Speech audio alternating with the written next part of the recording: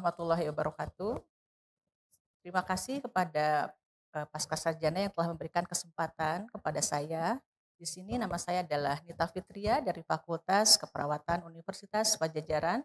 Saya mewakili dari Departemen Keperawatan Dasar dan saya mewakili dari teman-teman tim untuk menyampaikan sharing mengenai bagaimana sepatu yang sehat dan nyaman bagi perawat.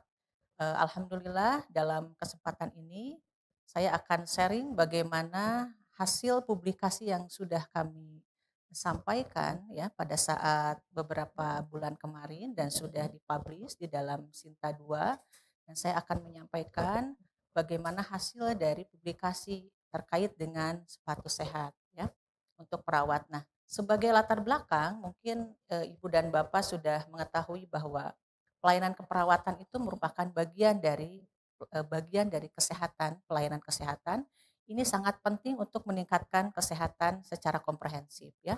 Nah, selama bekerja perawat tentunya banyak sekali kegiatan-kegiatan yang kita lakukan gitu ya.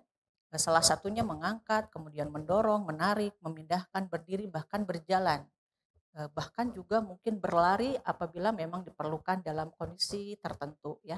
Nah, perawat tentu sebagai bagian dari pelayanan kesehatan ini memberikan uh, apa perform yang luar biasa sehingga peran kita ini sangat besar bagaimana kita meningkatkan kualitas kesehatan dengan baik. Nah, dalam perjalanan kita sebagai perawat melakukan aktivitas tentu akan banyak sekali kendala-kendala. Kendala-kendalanya adalah salah satunya pada saat kita bekerja ya. Karena populasi perawat itu sangat banyak sekali. Nah, di sini ada sistem muskuloskeletal ya atau sistem otot dan tulang yang memang mengganggu terhadap kegiatan kita ya. Kenapa? Karena kegiatan keperawatan itu memang tadi lebih banyak melakukan aktivitas gerak ya secara maksimal sehingga di sini sistem yang paling berpengaruh ya tentunya diawali dengan sistem persarafan tentu ini akan mempengaruhi terhadap aktivitas kita sehari-hari.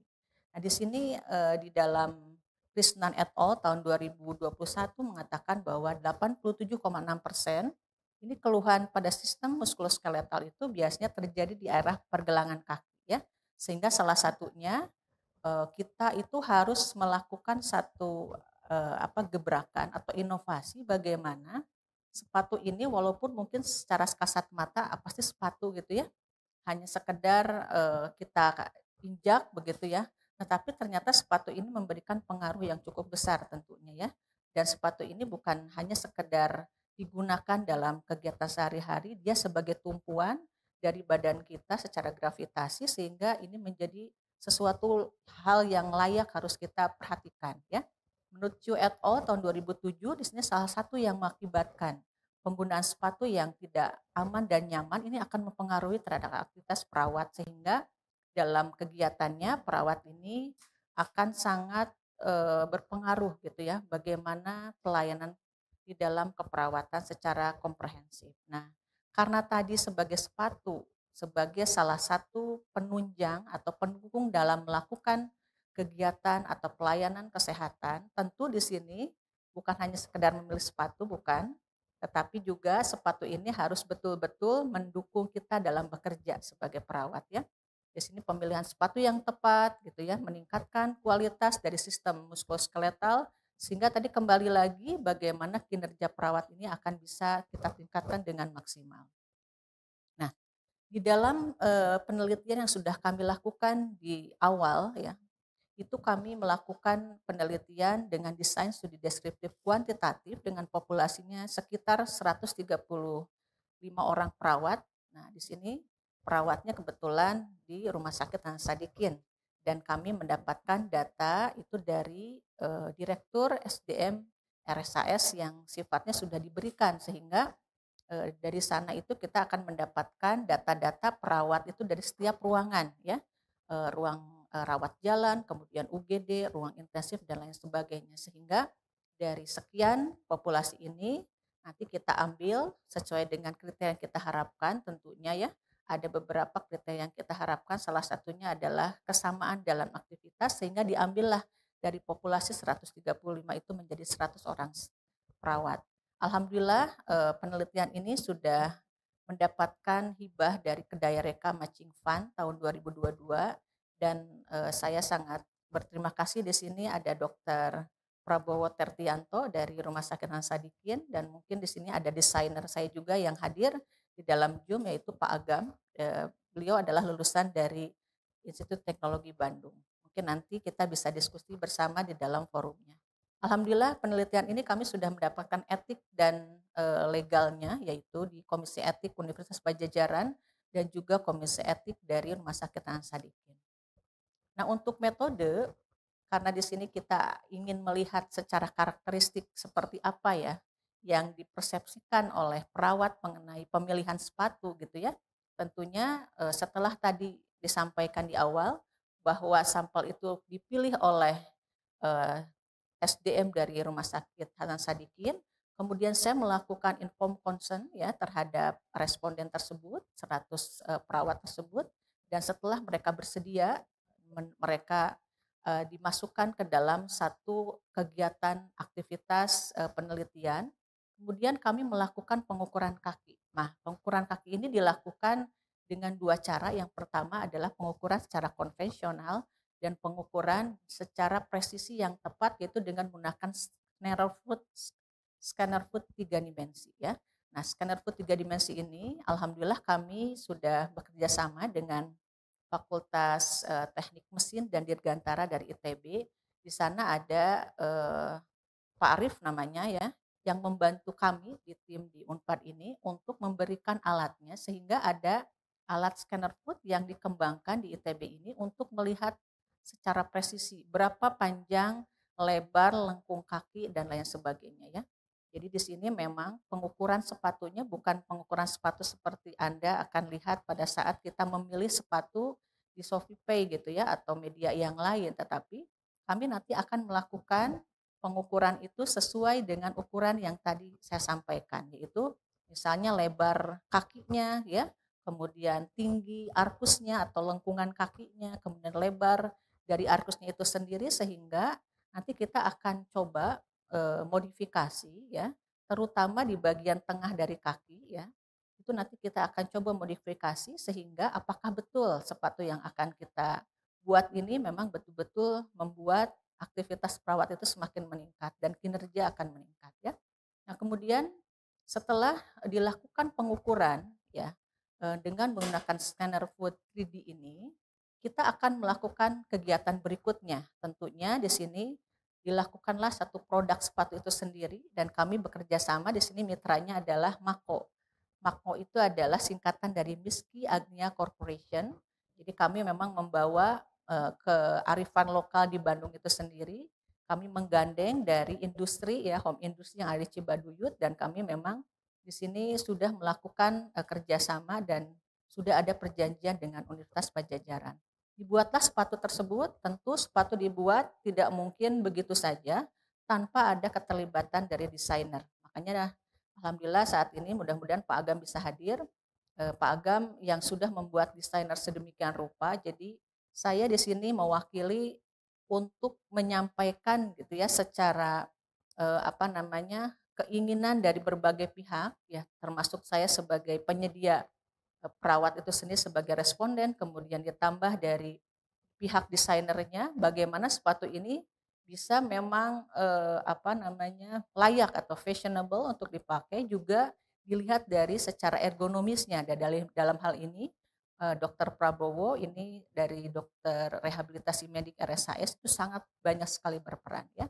Nah setelah dari desain tersebut kemudian ditambah dari kami dari sisi keperawatan dan dari dokter rehabilitasi medik ya kami lanjutkan dengan uh, produksi ya secara home industry. Nah, kami di sini ada spesialnya. Kenapa? Karena pihak home industry ini bukan hanya sekedar membuat kemudian selesai, tetapi juga ketika nanti ada keluhan ya, ada revisi itu akan dikembalikan. Jadi eh, kami sudah bekerja sama dengan Cibaduyut itu adalah jaminannya bahwa sepatu ini harus benar-benar bisa nyaman. Jadi Kemarin itu dari 100 sampel itu ada sekitar 18 pasang sepatu yang memang direvisi sampai 2 sampai 3 kali ya. Nah, kemudian yang nomor 6 di sini eh, bahwa kenyamanan itu tentu bukan hanya sekedar subjektif ya. Apakah ini nyaman ya, ini ringan ya sepatu, tapi kami ingin coba melakukan pendekatan uji cobanya ini adalah secara eh, apa namanya medis juga dan pendekatan secara marker ya. Marker itu adalah penanda apakah betul-betul ini sepatu bisa digunakan atau tidak. Nah, di sini markernya atau penandanya adalah asam laktat. Mungkin kita tahu bersama bahwa asam laktat itu sebagai penanda bahwa aktivitas itu sudah dilakukan secara aerob. Artinya oksigen yang ada dalam tubuh itu tidak cukup atau tidak mencukupi sehingga akan menimbulkan asam laktat dan asam laktat yang tinggi tersebut menjadi penanda bahwa ketika seseorang tersebut melakukan aktivitas yang tinggi ya ditambah dengan sepatu yang tidak nyaman itu akan meningkatkan asam laktat sehingga sebagai tanda bahwa seseorang mengalami satu kelemahan atau kelelahan yang sangat pada saat beraktivitas itu akan muncul salah satu indikatornya adalah peningkatan asam laktat ya. Nah, jadi eh, alhamdulillah kami di sini eh, mudah-mudahan para eh, apa namanya perawat yang mungkin hadir di Zoom ini juga saya mengucapkan banyak terima kasih atas kerjasamanya ya pada saat pengambilan asam laktat, kemudian pada saat eh, mengisi dari GFOM yang sudah kami sediakan dari mulai asesmen awal sampai dengan bagaimana pelaksanaan setelah menggunakan sepatu. Jadi pengambilan asam laktat ini dilakukan sebelum menggunakan sepatu antropometri dan setelah menggunakan sepatu antropometri. Nah, Kemudian ini hasilnya. Ini kita akan coba lihat secara mendasar dulu karena untuk melihat apakah terjadi peningkatan atau penurunan asam laktat dan apakah terjadi peningkatan kinerja atau tidak, ini masih dalam proses ya. Ada beberapa hal yang perlu kita proses sehingga belum finish ya. Nah, yang akan saya coba sampaikan dan sudah dipublish di Sinta 2 ini adalah yang berkaitan dengan bagaimana persepsi perawat yang sebagai responden itu melihat sebetulnya bentuk dasar gitu ya dari yang diharapkan oleh perawat terhadap sepatu itu seperti seperti apa. Nah, ini bisa kita lihat di sini bahwa sebagian besar pengen punya sepatu itu ya secara bentuk dasar tuh pengennya yang pas katanya gitu ya. Jadi nggak mau yang longgar gitu ya, nggak mau yang terlalu sempit dan bahkan di sini kita bisa lihat fashionable itu ternyata kecil gitu ya.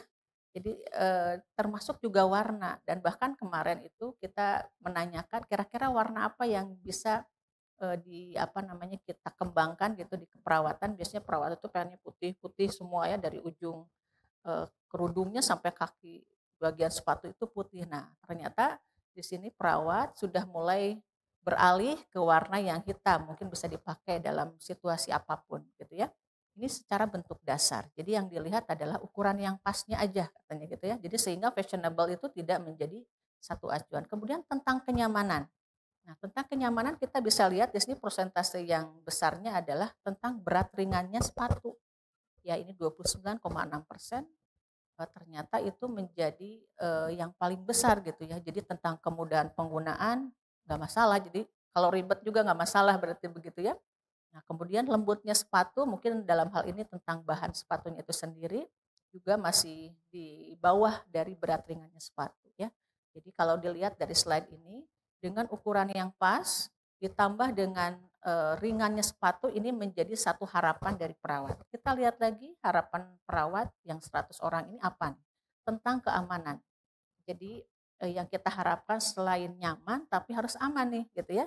Kalau misalnya nyaman tapi ternyata sepatu ini membuat kita itu terluka karena ada jatuhnya misalnya jat-jat atau misalnya jatuhnya benda-benda yang tajam begitu ya ke, ke arah sepatu kita sendiri dan bisa menancap ke arah kaki berarti itu sangat tidak aman sekali ya. Nah ini untuk keamanan di sini yang paling besar adalah harus fit katanya dengan kakinya itu sendiri 28,3 persen ya. Jadi ternyata melindungi kaki itu yang kedua itu ya jadi memang tadi balik lagi ukuran harus pas, ditambah keamanannya juga harus fit banget nih, jangan terlalu longgar, terlalu uh, sempit begitu ya. Nah, ini saya akan coba lihat secara satu persatu. Nah, kemudian berikutnya adalah berkaitan dengan fungsi. Fungsinya ini juga cukup besar di sini ada di angka 24,1. Ini ada dua kategori. Yang pertama secara fungsi, yang pertama bisa digunakan dalam kondisi beragam cuaca ya Jadi kalau bisa Bu katanya ya, eee, kalau hujan-hujanan aman, kalau misalnya lagi, eee, panas terik gitu ya, enggak jadi keras gitu ya bahannya. Maka nanti mungkin saya akan perlihatkan di sini bahwa sepatu ini salah satunya adalah memang bisa digunakan dalam kondisi beragam beragam, yaitu terbuat dari kulit sapi ya.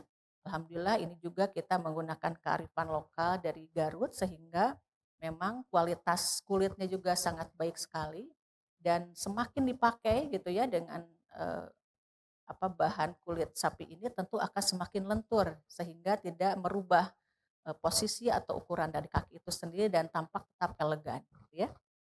Kemudian yang kedua dari di bawah ini adalah tentang ketahanan sepatu saat beraktivitas. Jadi kalau bisa, bisa nggak ya Bu ya, tiga tahun saya nggak ganti sepatu gitu ya istilahnya seperti itu. Jadi dari fungsi itu memang pesan yang tersirat dari kami itu memang gimana ya bisa awet, kemudian bisa dibawa basah-basahan, panas-panasan, tapi juga mungkin kayaknya murah juga ya gitu ya. Nah kita akan coba nih bagaimana tim akan memodifikasi dengan berbagai uh, apa kondisi dan semua kita kerahkan sesuai dengan kemampuan kita dari berbagai pihak tadi ingin uh, meng, apa ya menciptakan atau menghadirkan apa yang diharapkan oleh perawat ya.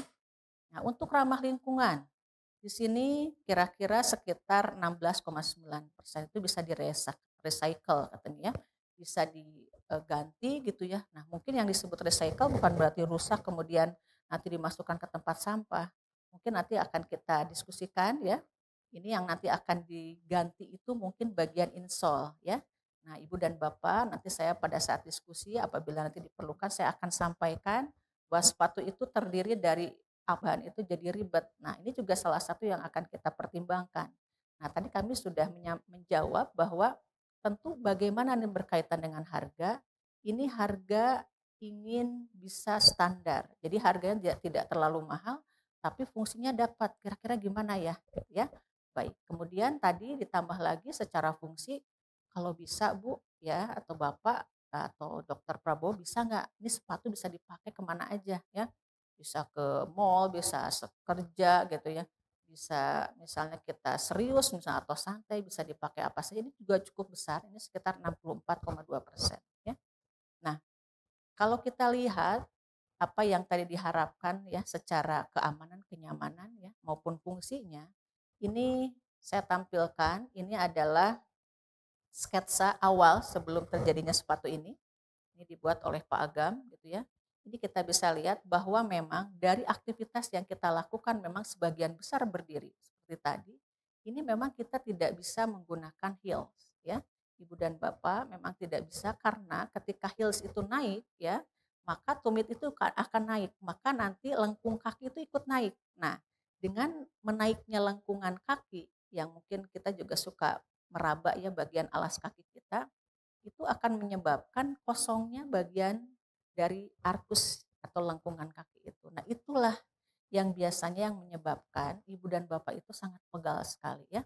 Nah, ini saya coba perlihatkan secara keseluruhan bahwa di sini ada beberapa bahan yang sudah dibuat ya dan nanti akan di apa namanya dilanjutkan kepada home industry. Di sini mungkin Ibu dan Bapak bisa lihat ada kulit sapi full grain ya.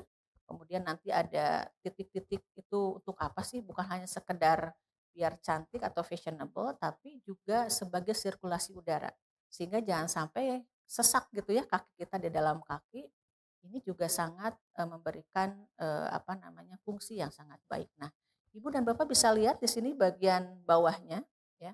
Bagian outsole tadi bagian ekstra dari kaki ini atau outsole di sini lembarannya hanya 5 mm. Mungkin Ibu Bapak bertanya, kenapa sih nggak tebel aja gitu ya kaki eh, bagian outsole-nya? Karena apa? Karena kalau tebal itu memberikan kesan berat sepatu. Sedangkan perawat itu harus ke sana sini gitu. Itu yang menjadi alasan Eh, bagi tim ya dan terutama di sini desainer itu menanyakan dulu kepada saya sebetulnya bagaimana aktivitas yang sesungguhnya ya. Nah, dari sini. Nah, Ibu dan Bapak bisa lihat di sini ada midsole spoon di sini ya. Nah, sponnya ini di sini berwarna putih. Ini yang sebetulnya menyebabkan sepatu itu ringan ya. Jadi karena tadi sudah ada permintaan bagaimana bisa ringan.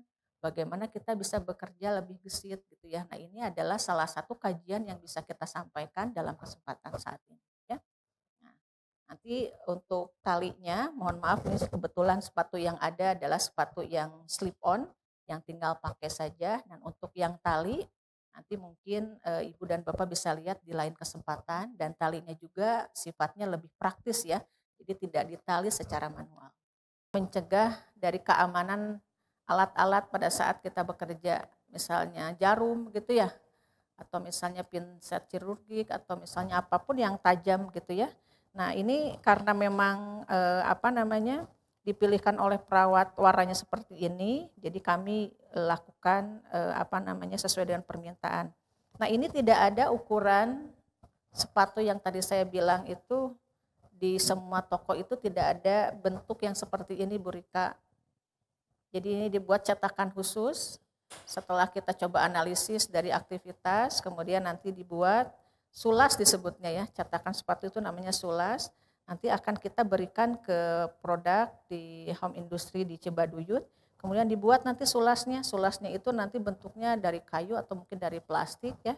Nanti baru dibuatkan oleh pihak eh, home industry sepatu tersebut. Jadilah seperti ini. Nah, ini yang tadi saya sampaikan, yang anti slip, yang outsole tadi, ini terdiri dari karet dan ini bagian spoonnya nih yang warna putih. Ya, ini yang memang membuat jadi ringan gitu, bawaannya ringan. Memang kalau misalnya cuma diperlihatkan gini nggak akan tahu ya, harus dicoba ya. Jadi kebetulan saya sebelum masuk ke ruangan itu ada beberapa dosen yang saya ketemu di working space gitu ya. Kemudian mereka mencoba, alhamdulillah kesan pertama semua sama ringan ya gitu ya, sepatu itu ringan. Kemudian setelah masuk, itu nanti mungkin seperti ada pengalaman tersendiri. E, Bu Rika akan merasakan ada yang mengganjal nih ya di bagian midsole. Jadi di bagian tengah, jadi dari arkus kaki kita itu nanti akan tertahan gitu ya. Jadi ada yang yang mensupport gitu ya. Nah ini mensupport ini untuk apa? Mencegah jangan sampai bagian arkus kaki itu memang kosong Nah itu yang membuat pegal. Jadi kita seakan-akan kayak menahan gitu ya, kayak menahan e, bagian tumpuan dari kaki. Oleh karena itu di sini kita akan berikan support di bagian e, insolnya tersebut gitu. Kemudian ini ada karet, ini untuk membantu tadi mempercepat karena mungkin perawat itu perlu ke sana ke sini gitu ya. Sehingga nanti di sini cukup elastis dan kalaupun misalnya pada awal-awalnya perawat merasa ini tuh terlalu sempit ya karena ini dari kulit sapi. Saya juga sudah pakai sepatu ini kurang lebih hampir tujuh bulan lebih gitu. Ini nanti lama-lama elastis gitu. Memang pada awal ini kayaknya terlalu ini ya, terlalu sempit ya gitu ya. Nanti kita akan coba. Tentu sepatu ini juga e, akan terus berkembang ya, baik secara bahannya maupun modelnya ini tergantung dari e, kondisi kita nanti pada saat e, penelitian berikutnya ya. Nah, kenapa ini ada sedikit eh, apa namanya warna yang berbeda. Ini kebetulan kami membuat eh, khusus untuk tim dan pengelola yang ada di Fakultas Keperawatan. Mungkin alhamdulillah eh, ada beberapa pengelola yang hadir saat ini sudah menerima sepatunya ya. Bu Hana juga mungkin yang lainnya atau para wadek. Di sini kita berikan warna tersendiri, warna abu-abu agar bisa lebih fashionable gitu ya, tidak hitam legam seperti ini gitu ya. Nah, nanti pada saat nanti kita akan melakukan berikutnya dengan aktivitas tinggi, nanti kita akan coba lihat apakah sepatu ini dengan model seperti ini masih bisa digunakan atau tidak untuk di ruang instalasi gawat darurat maupun IRJ gitu. Nah, ini nanti makanya terus dipantau dan kami akan lakukan monitoring eh, dalam prosesnya tentunya dan nanti pihak eh, apa desainer gitu ya maupun dokter rehabilitasi itu akan mengevaluasi dalam prosesnya sehingga pada akhirnya nih kita akan mendapatkan produk yang lebih baik. Mungkin begitu Bu Rika menambahkan.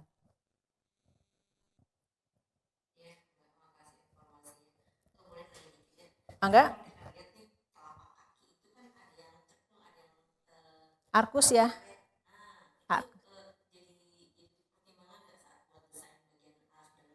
Betul. Itu justru yang pertama kali yang menjadi pertimbangan itu justru arkus kakinya. Arkusnya itu kita ada tiga, ada yang high, ada yang medium, ada yang flat. Kalau kayaknya kalau lihat Bu Rika dengan aktivitas tinggi ya, saya kenal banget sama Bu Rika kalau jalan itu nggak kekejar gitu ya. Nah itu berarti kan perlu nyaman ya dengan beraktivitas. Nanti makanya dengan scanner food 3D tadi, itu kita memastikan secara presisi tentang tinggi lengkung kakinya itu atau arkusnya. Jadi support kaki yang tadi ada bantalan nih Bu Rika ya, ini akan menentukan nih setinggi apa gitu. Justru ini yang menjadi tumpuan ketika asam laktat itu meninggi itu ketika memang si support ini tidak ada. Makanya memang support ini baik selanjutnya. Nah, ini untuk menjelaskan dari sepatu yang tadi sudah digambarkan sesuai dengan apa yang diharapkan oleh perawat. Yang pertama adalah alas sepatu harus nyaman ya. Di sini alas kaki itu nanti akan bersentuhan secara langsung itu ke bagian permukaan. Menyebabkan nanti tekanan itu dapat menyebabkan satu perubahan terhadap bentuk kaki. Jadi perubahan bentuk kaki tersebut itu perlu didukung dengan alas kaki yang mampu menopang postur tubuh dan gerak tubuh dan melindungi kita dalam saat bekerja ya.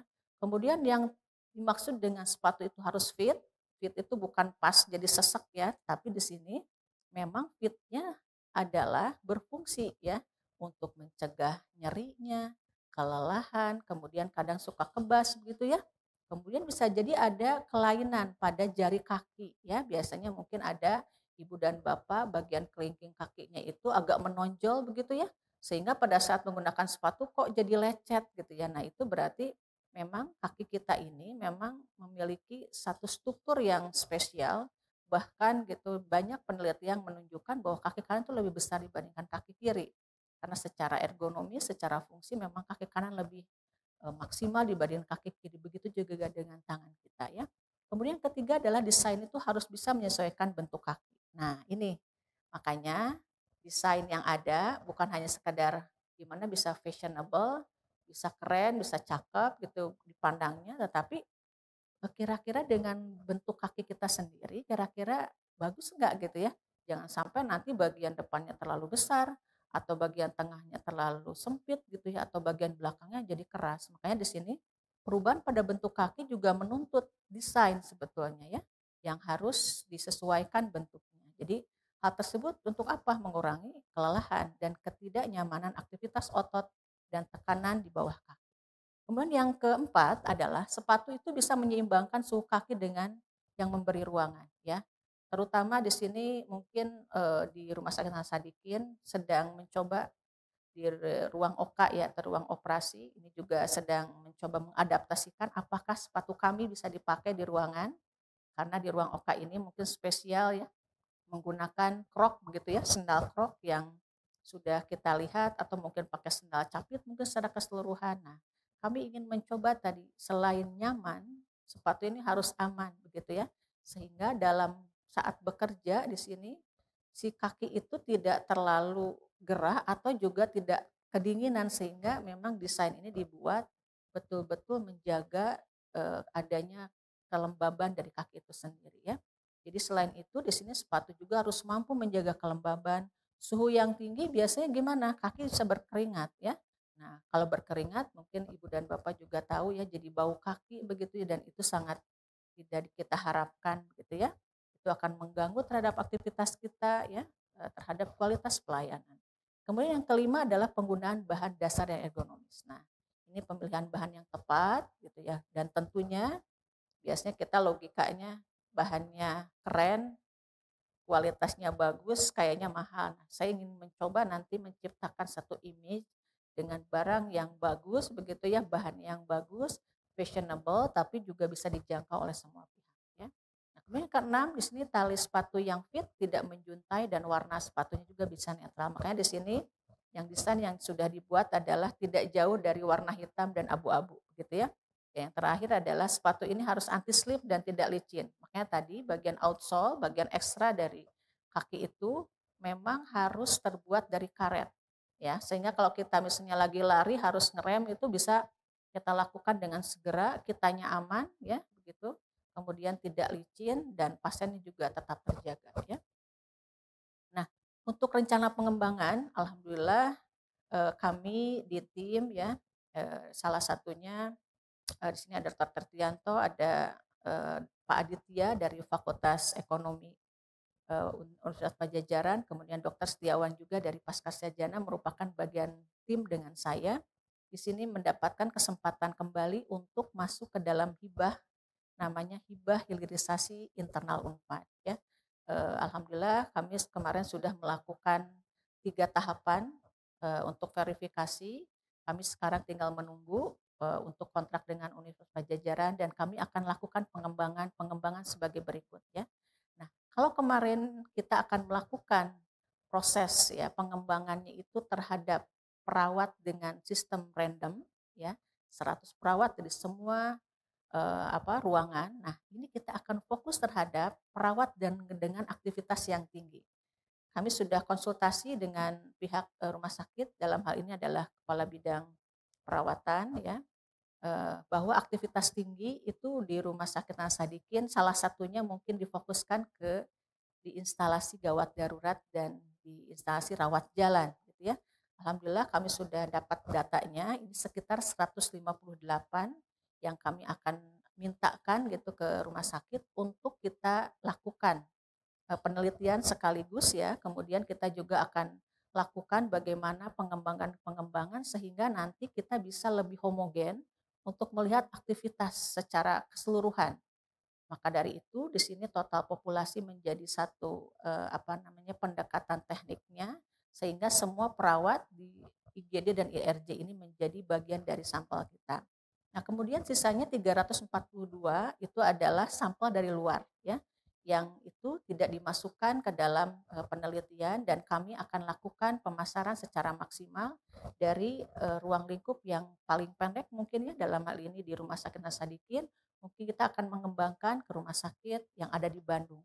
Insya Allah kami dengan tim akan melakukan roadshow mungkin ya ke beberapa rumah sakit dan kami akan membawa produk dan akan memberikan penjelasan kepada ibu dan bapak lebih detail kembali ya.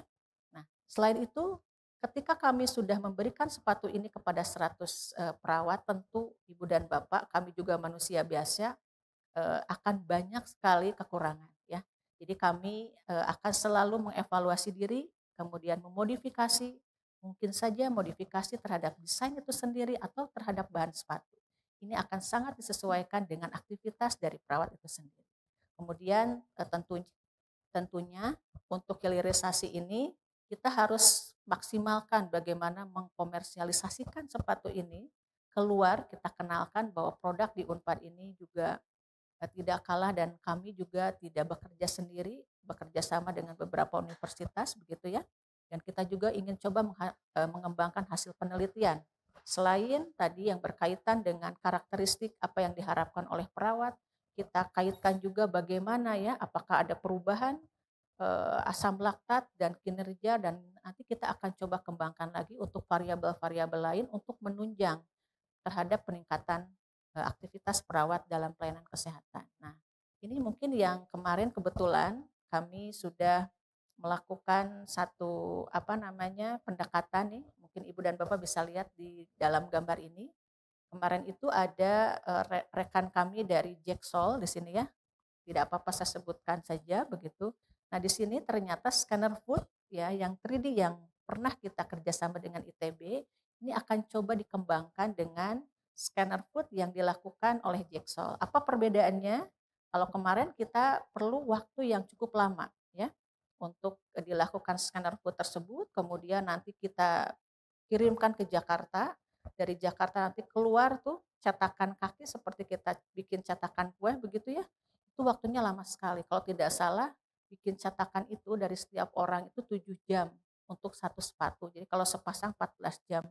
Jadi ibu dan bapak bisa bayangkan lama sekali dalam prosesnya sehingga dari cetakan tersebut sampai ke home industry untuk bikin sepatu itu tentu memerlukan waktu yang lama. Nah, dengan alat ini mungkin Ibu Bapak bisa lihat di situ itu seperti eh, apa ya bikin eh, kita laminating begitu ya. Nanti Ibu bisa berdiri di alat tersebut ya. Kita berdiri di sana nanti mesin tersebut bergerak nanti akan membentuk cetakan ini kebetulan kaki saya nih. Jadi cetakannya seperti itu nanti tinggal di print.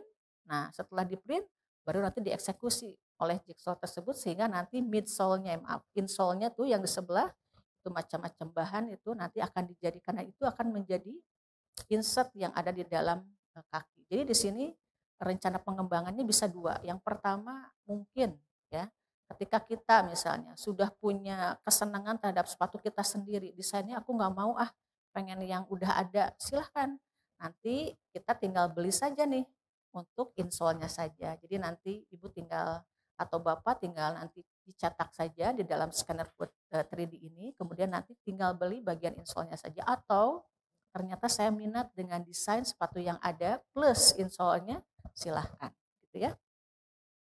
Saya kira e, seperti itu dan disimpulkan di sini ya bahwa memang penelitian mengenai sepatu antropometri atau sepatu yang diukur berdasarkan ukuran yang tepat ya secara individual ya panjangnya lebarnya lebar uh, apa lengkung kaki, kemudian tinggi arkusnya atau tinggi uh, apa lengkung kakinya ini memang sangat terbatas. Oleh karena itu memang kami di sini ingin memberikan kontribusi sekecil apa pun gitu ya kepada pelayanan kesehatan dan dalam hal ini saya kebetulan di profesi keperawatan ingin memberikan kontribusi yang baik gitu ya terhadap profesi saya dan mudah-mudahan kalau ini memang memberikan berkah yang baik bagi kita semua dan mungkin profesi yang lain juga ingin gitu ya ingin melihat sisi baik dari kegunaan sepatu ini untuk meningkatkan aktivitas kita dalam sehari-hari.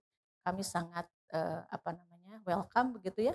Mudah-mudahan kita bisa kerjasama dengan baik eh, saya ucapkan terima kasih tentunya pada kedai reka Kemendikbud RI yang tahun 2022 matching fund ini sudah mendanai aktivitas penelitian ini sampai dengan publikasi dan tentunya di sini kepada Pak Dekan, Prof. Kusman Ibrahim dan para pengelola yang memberikan kesempatan kepada saya untuk bisa mengikuti kegiatan uh, kedai reka tersebut ya dan uh, tentunya kepada perawat nih ya terima kasih jazakallahu khairan kasiro kepada semua pihak yang telah uh, memberikan kontribusi yang maksimal ya luar biasa pada bidang perawatannya.